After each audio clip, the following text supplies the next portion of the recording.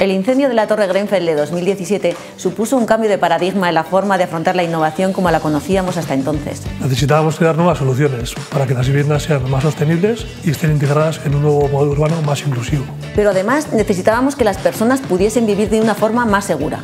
En este contexto, Alucoil y Tecnalia iniciaron una colaboración que tenía como objetivo el estudio de un nuevo sistema de revestimientos de fachadas mediante paneles Honeycomb de aluminio.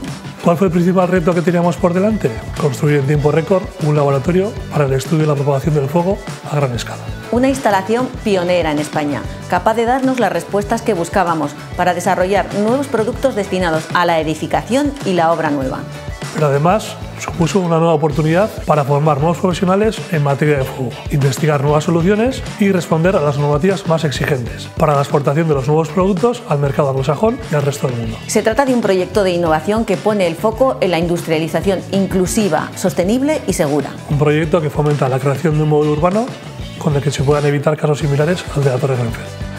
Del fuego aprendimos mucho y ahora todo ese conocimiento lo compartimos con otros fabricantes con las instituciones y con toda la sociedad. Juntos conseguimos dar respuesta a una nueva situación de mercado con soluciones basadas en la innovación.